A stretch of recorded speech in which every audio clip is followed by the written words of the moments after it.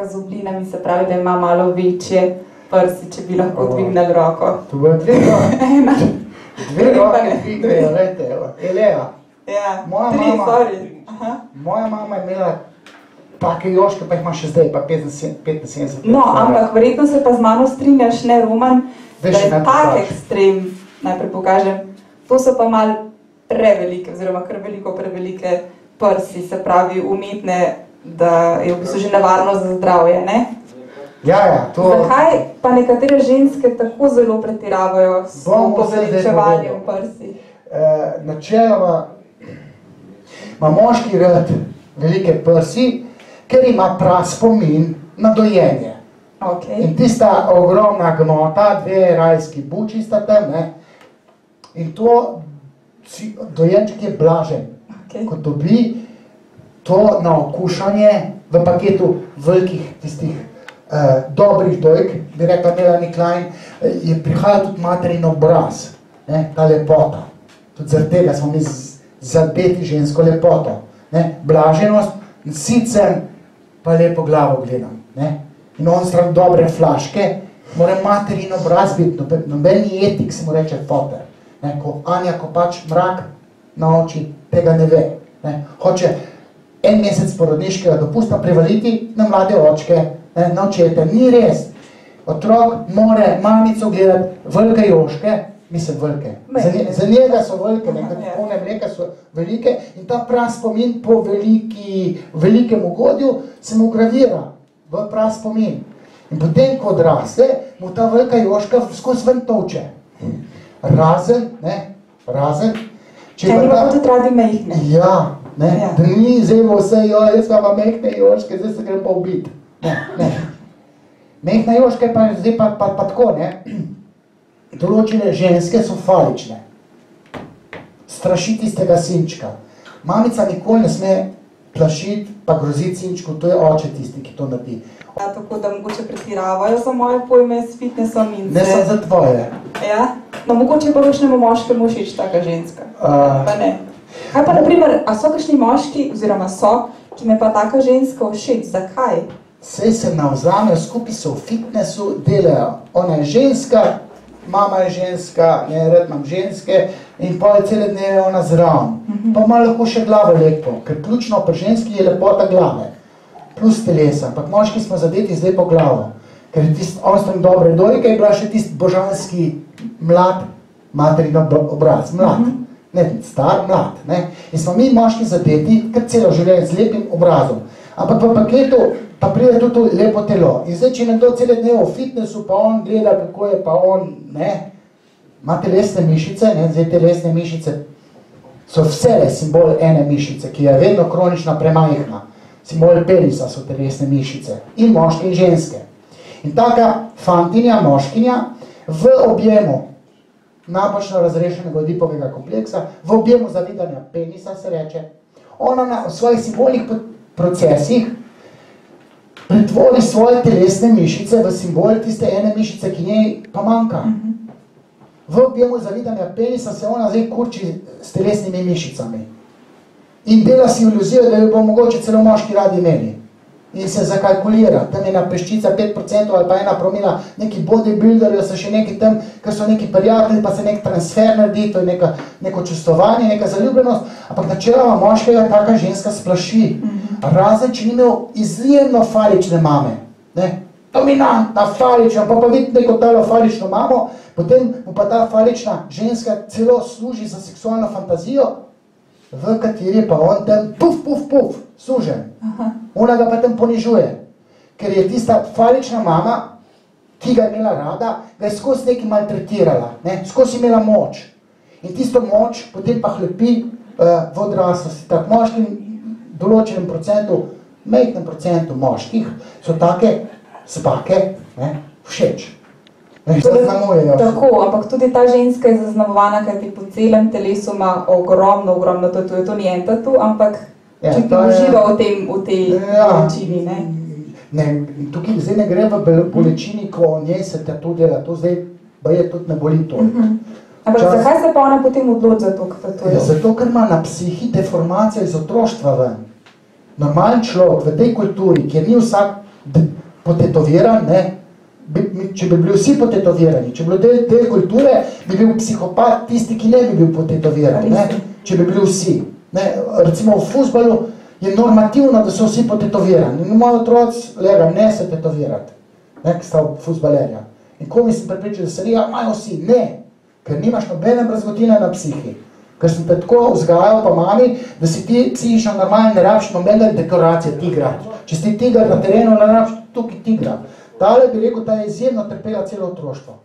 Ne? In psihična deformacija se ali v piercingu, ali v nekih ekscesih, v hobijih, ali pa v tatujih. In pomembno je tudi, kakšen tatuma. Ne? Zdaj, če, če gledate, če gledaš ne, lezbične športnice, tu ima neke bodeče, une, bodečate, okoli tricepsa, nekaj kršpika, ne? to je falično, penetrirajoče. V objemu zavidanja penisa si tudi tatu da falični, tazga, ki bi ga imajo moški ženske ne, one manj zdaj, ka bi bila rada še lepsa, pa mi oče ni rekel, da sem lepa, pa pa unga menga metuljčka, kaj na joško da. Ne?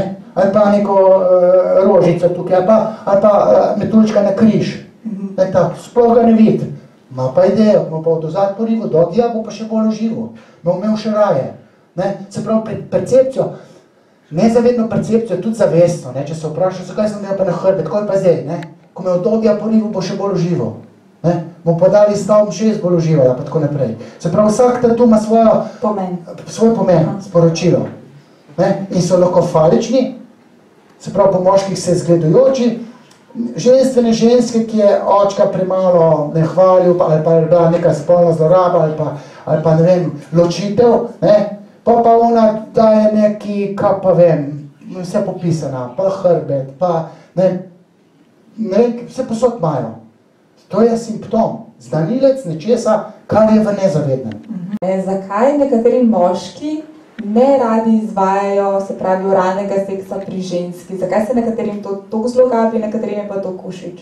Ja, tukaj igra vloga nadjaza, se pravi super ega, moralne inštance. Vest, ki teče, je lahko manj manj pekoča vest, oziroma šipkejši nadjaz, pa močnejši. Uh, ne, in konzervativna kultura, pa mogoče celo kakva ideologija, ne, v določenih kulturah se določene uh, oralne prakse celo menda ne smejo izvajati. Ne vem, kako ima to koran, kako ima točno kršanstvo, to je oralno, to ni, ne. In zdaj, če imaš ti moč nadjas, ali pa moč na to Bog ne pusti, pol, pol to tudi lahko tako ponatraniš, da si ti celo gnusi. Ne, če te je samo sram, rad bi, pa ti sram, sram je znamenje želje. -huh. Ena ženska je prišla k meni, pa, pa jaz sprašujem, klasično vprašanje, ki psihiatr ne vpraša, ego psihologi ne vpraša, če ga radi, če ga radi fafate, ne? Ja, ja, ko pa, ko pa Liza si pustite, ne, mož ne sili, je pa vam ni lušen, sram me je, sram je znamene želje. Sem do, določeni moški, uh, imajo lahko močen nadjaz, Zdaj, če ima pa slabe izkušnje tam, da so bili pijan, pa so šli kaj v vece, pa si jo pa lizo, ne? pa bila pa ne umita, recimo, pa pa tudi to vohaš, ne?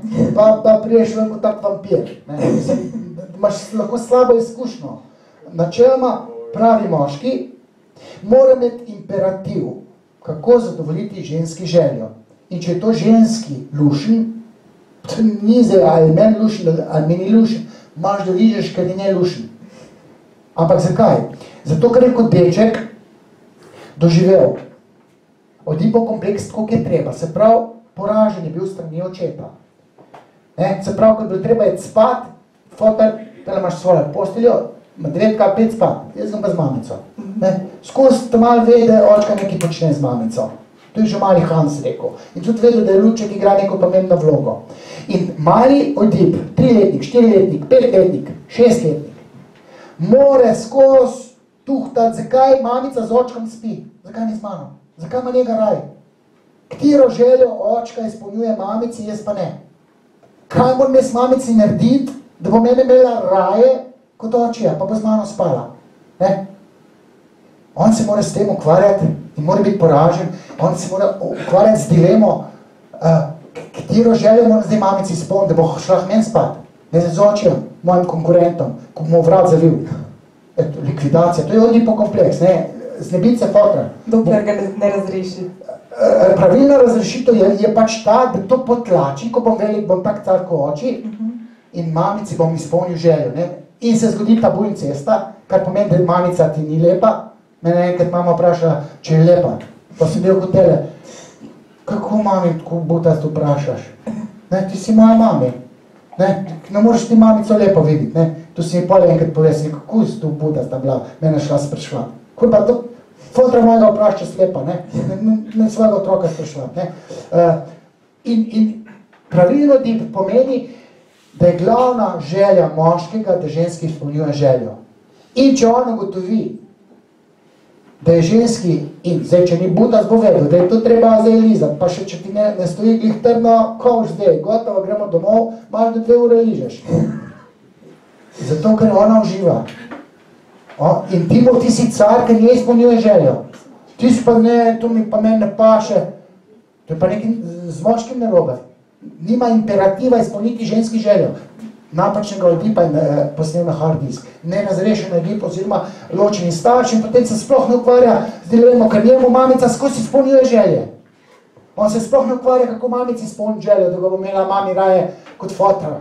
Ne, ker fotra tako ni, ona pa z mano spi. Ja, pa pa te, on reče, da mi ga pofafi, pa pa zaspi, ja, kdo pa pa mene, ja, kur, se mi ne ljub. Če normalnemu moškemu rečeš, ti, tukaj smes, a ja, cef, greš takoj pa oddelaš svoje. In ti je to v užitek. Ja, Roman, mi da so zdaj kar ogrela. Anja, sem pozabila pokazati še eno um, zelo, zelo tako brutalno fotografijo. Ne? Tukaj sta dve ženski, ki si želite imeti uh, čim večje ustnice. Ne sej ne rečem, ženska polna usta so lepa, ampak tako zelo, pa ne vem, dvomim. Uh, no, usta niso usta. Bi se reklo po Freudu, jaz imam eno knjigo, Ja? uh, kjer je Freud z brado, uh, zdaj včasih ni bilo toliko debilacij, ne.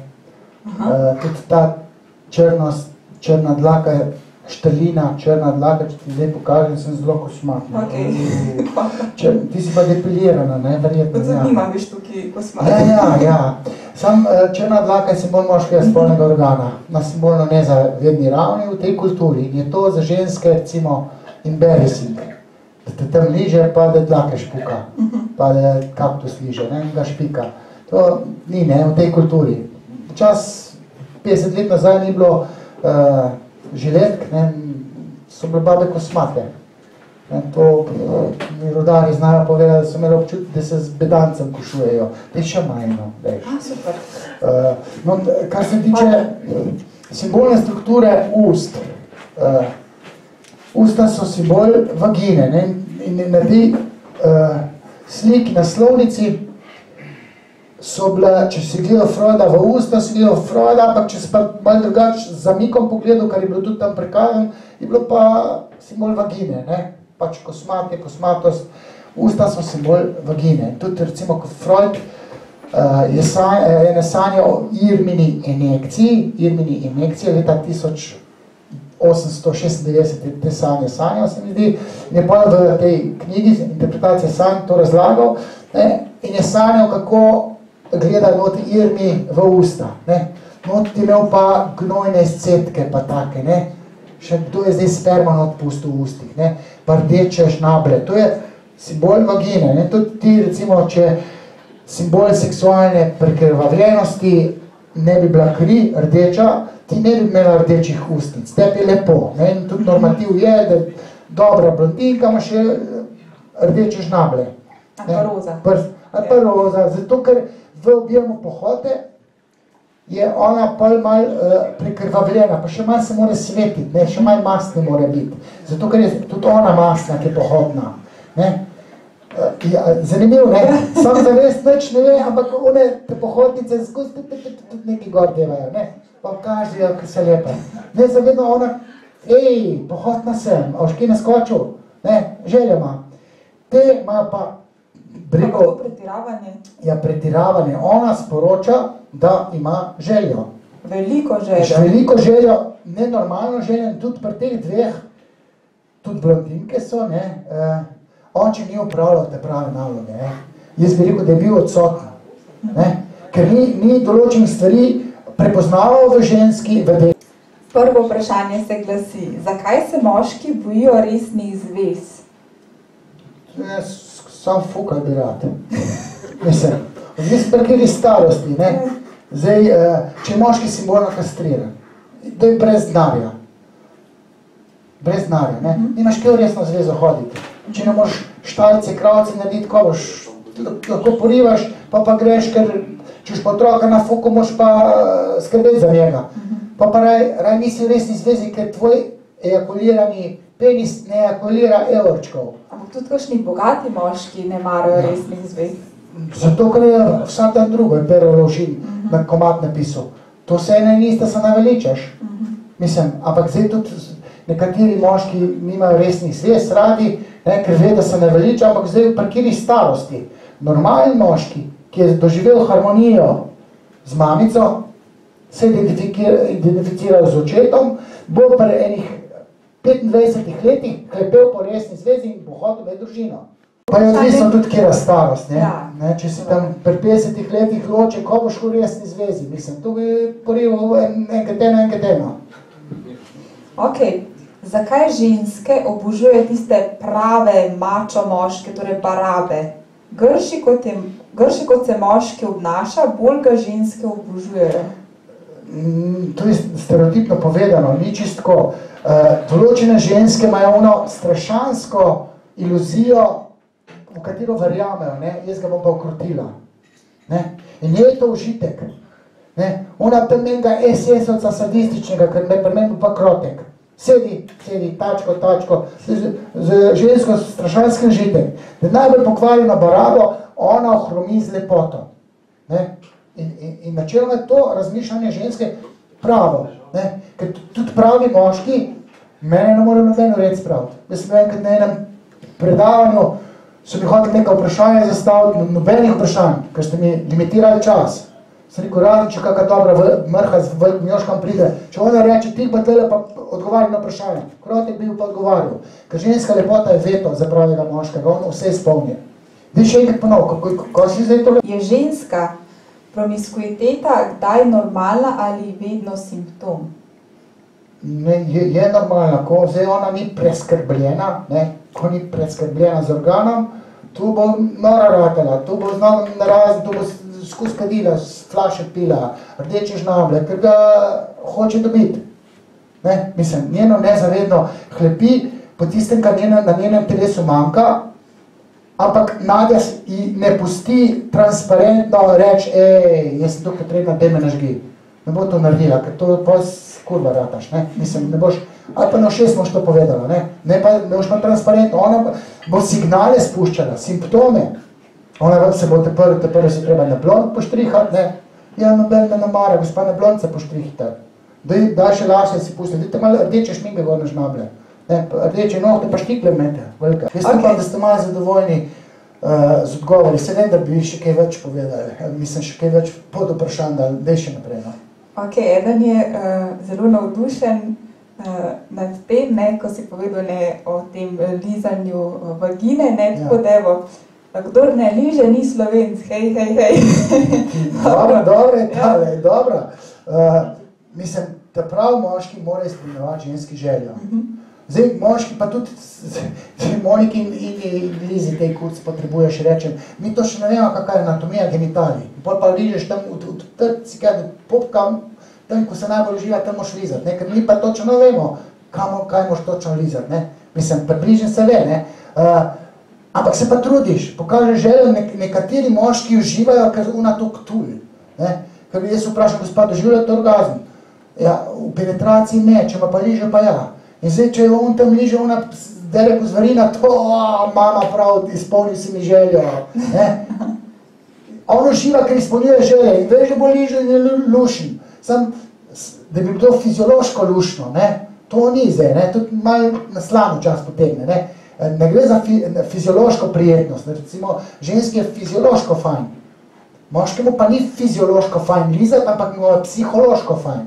On uživa psihično, ker izpolnjuje ženski željo, ona pa še, ja, ne?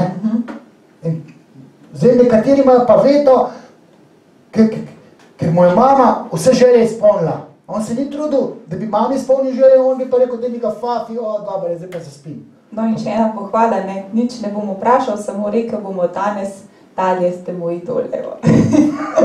Ja, Super. sej, če bi jaz bil v teh medijih, ne bi bilo več feminizma sploh, enako spolov. Kak enako spolov? Roman, ampak vem pa samo povej, ne, zakaj pa, jaz to sicer nisem verjela, ampak prebrala sem, da nekateri moški pa ne marajo, se pravi, da jim ženska, Fafa. ja, Vse fafa. imam frazo z Moniko, tega je treba ubiti. Ne, Imajo močen nadjaz, premočen oče, pa mogoče kakšna kon- konzervativna uh, vera ali pa, ali pa skozi izpostavljam te, to se pa ne sme, roka se ti upošešila, ne, če boš ti, to pa ne se prijema, v času mogli spati z rokami vidnimi. Ne, uh, v glavnem lahko je ta privzgojen, da se to ne sme. Moč Nadja, stoji jebati. Zadnjič me je ena vprašala, je rekla, jaz te dobre fante imam, stara je to kot ti, dobre fante, le, v redu so zaužent, eh, sočutni, pomagajo, moralni, vse, fuka pa ko, ko debil bil, ne. Ma ga daš kamer, me daš tri minute, gotovo. Dobiš pa tam eno bera, barabo, tam, rekel, tam pa žge tri ure. Mislim, pa imaš tam enega zaužent, enega pa prfukenga, sem ta bolj seksa. In pa so babe čist zmešane, kot če, jaz sem moram imeti, ne, vse se bo naučil. Je, je pa res, da te zelenci, ne, ko so moralni, za- ne, z leti, nadjas, ne da, da je šibek, ampak pohota dobi veto. In z leti, A, Kaj pa tole vprašanje? Nekoga zanima, zakaj imajo moški raje blondinke? ko smo sami so črni, črna dlaka, črn, črn. Ona pa hoče biti nasprotno od moškega, jaz sem pa radikalno drugačna. Jaz sem blondna. Ne, vse, kar ti nisi, sem jaz. Ti si lahko smrdiš, grd, jaz pa dišim, lepa. Ti si kosmat, jaz sem pa depilirana. Ne? Radikalno drugače. Načeloma, moški niso blond v osnovi. Veliko, če bi statistično gledala... različnih skandinavcev, a ne? Ja, no, ok, sej jaz sem pa dva sinova, pa je No. čist, čist, čist mamic podoben, ne, lep ko mami, ne, jaz car, ne, car, car, jaz sem iz gimnazije dobil, ker sem lep. Ne, ne, ne, ker sem lep, ker sem car. Ne, ampak ta, moj otrok je pa blond, ampak načeloma moški napada žensko željo z dejanji, ženska pa z lepoto. Ona mora upozoriti, da si pa čist drugačna kot si ti, ne, čist drugačna kot moja konkurenca in če si blond, že poveš, željo imam, Ne, lepa si, če se dekoriraš, če se napraviš, to napadaš moško željo. In to dela simptomatično, ker ti tvoji nezavedni procesi diktirajo protokol, po katerem boš ti prišla do alfa samca. Oziroma, si, ti si že poročena, si bojo tebe želeli. In te, ti nisi imuna, a veš ti, da veš ti takole, pa vsi te gledamo, tole pa nažgavo, te pelušim. Če razmišljaš mene, bi pa tele vsi me imeli. Samo me ne bojo, ker imam jaz svojega gamsa. Ne? Ja, ja, ne. A sam je ti pa luši, wow, veš, čo te Ego, ne, gleda. pumpaš. Pum pa si jedel in to je načeloma ne smeš biti tako ljubosum, ne, da ne obstiže do tebe pa zaprl v pulu ali pa recimo sfere Joe pokril z burko, ko muslimani, ne, sam jaz bom tebe gledal. Ženski je lušen, če je za vse moški lepa. Da kažem kompliment dobi. Kompliment, pa da ima ono iluzijo, ne, vse vem, vse vem, da me nažgali, drti si ga še naprej. Ne, ko špacar, tak je moj dec, pa lahko prideš bližje. Ja. Sem Zakaj pa nekateri moški nezavedno sovražijo ženske? Nezavedno sovražijo, ker nezavedno so mama sovražili. Zato mama ne sme kaznovati svojih otrok. Kaznovati more oče. In vzgojne klofute morajo dovoljene biti očetom. Mamica ne sme jezo na sinčka, ker bo on pa mamo začrtel in v konstruktu nezavednem tam obstaja, pot pa tisto jezo do mame žena dobila. Ne? Najbolj poročevana klientela moških, tudi žensk, no, sam žensk, pač serijskih morilkih je procent.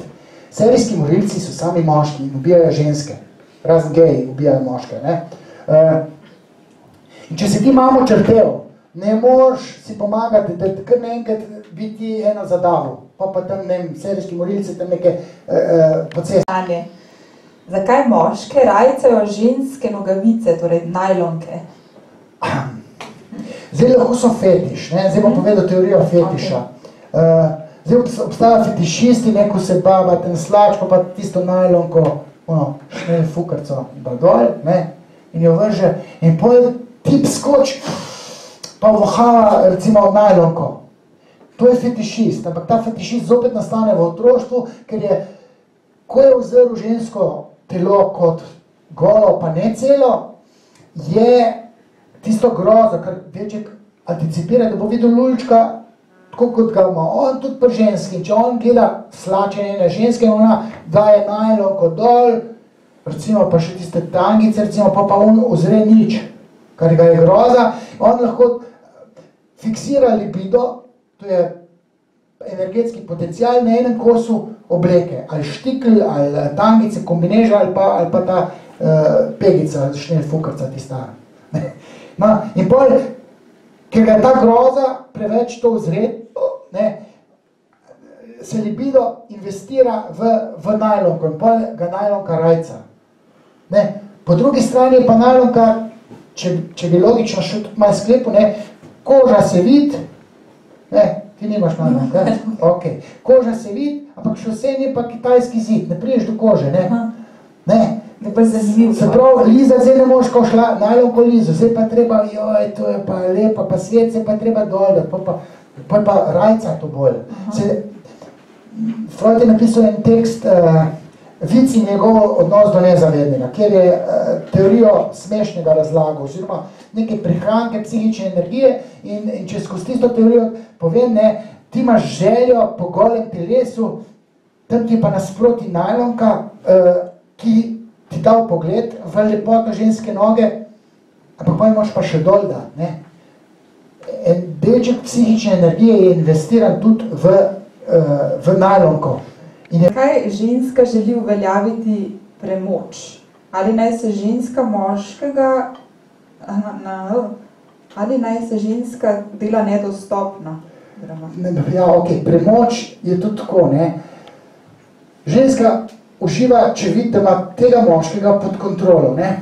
In zdaj, normalna ženska bo to naredila, lepa sem, lej, željo imam, če češ tole mene dobiti celo, pa veš, koliko sem jaz dobra v seksu, boš malo pod mojo kontrolo. Takole bo mes rekla, ne. Ampak to naredi po ovinkih. Če pa to čist ne rata, pa če, če nima izostrenega čuta feminilnosti, pa pa ona neki se pa kurči, ona pa neki, ko je bo, ko mes rekla, ne, ženska mora malo kura biti, ker ni petelinke, obstaja pe, petelinki, ki, ki rika in petelinko tisto kuro vid, gre na kuro, ne, in kura ga ohromi. Določene ženske nimajo feelinga, one ne vejo, kako je treba ohromiti moškega, z nemočnostjo. Solza, ženska, solza je veto, vidiš jokajočo žensko, gotov si, moš tih biti. Z, to je veto. In določene ženske nimajo feelinga, pa pa hoče obvladati bregu moškega. Ne? Se pravi, tist, tisto kurčenje bi ona zdaj ga umirila. To je vse v sferah nezavednega. Zdaj lahko je pa še tu problem neke ženske z očetom, ki celo otroštvo doživljajo tisto krotko mamico, ki je skozi trpela, pa hčerka, Ki ker je Je ja. antidepresiv. A je kaj resnice na tem? A, tega se pravi. To so moški raziskavo delali, kaj sem gledal, v Ta- Italiji so delali, gledam moški, so pet moških, ki delajo raziskavo. Šilce, sperma, zjutraj eksos, pa si skos nasmejana. Gre za psihični učinek, no- normalne ženske eh, to obožujejo, ta organ, ne? Zaprav tudi, tudi sperma recimo je nekaj užitnega, ne? tudi veliko žensk to tudi pogoltne, ne? Ampak ne gre za antidepresiv, gre za to, da je to lušen in če, če, če ti dobiš ta užitek, pa si nasmejan, določene sodelavke točno vejo, leja, kako je vesela prišla, ziger je imela kakega fokača doma, ne? Če, če je recimo ločena, ne? ali pa če, če pa poročena, pride vsa nasmejana, če je dec fest nažgal, ne? ali pa, ne vem, ali pa zjutraj mu ga je pol ure fafa in bilo to lušen. Pa je pa še on lušnje bilo. Gre za psihično uživanje, ne gre za spermo, da ima ona ne, antidepresiv, tako kot, ne vem, cipralex. Razumeš, to je psihična stvar, to ni kemična stvar, ki učikuje na eh, sinapse, na prenašalce serotonina, kar dela antidepresivi.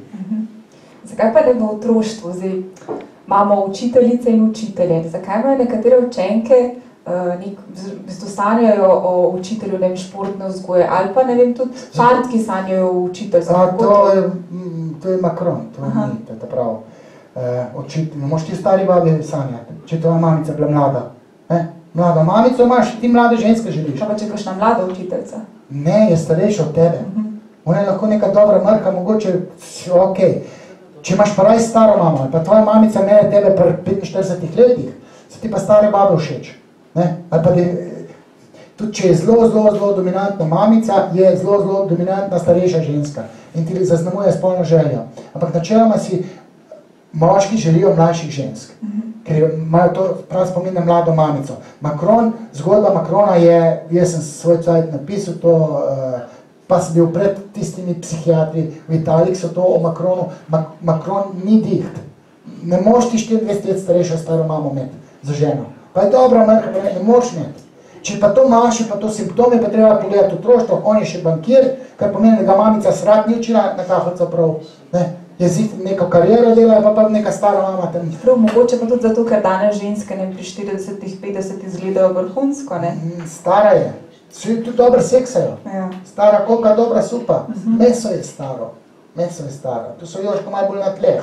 To ni. Mlada ženska telo. V seksu, recimo, ko se moški loteva, recimo pri 40, 50 letih ene mlade ženske, to uživa ko zmešan. Ko dobi mlado žensko telo, se struktura užitka je čist druga, kot če ti staro koko porivaš. To, to, o, ti uživaš, ker se ona fajn dere. In zadovoljuje želje, ima drugo strukturo užitka. Če pa ti mlado babo dobiš, se ti pa meša od užitka, ker imaš mlado telo. In dr druga struktura užitka. Ne? Naveličani delci, mlado se že trudil, staro babo, pa nekaj favi, pet gor, ja, ne, da, ne. Ni, pa še ostanemo, ne. Kaj pa naprimer učenke, ne, ko gledajo za kakšnimi učitelji? Učitelj ima pa status faličnega, to je pa druga zgodba.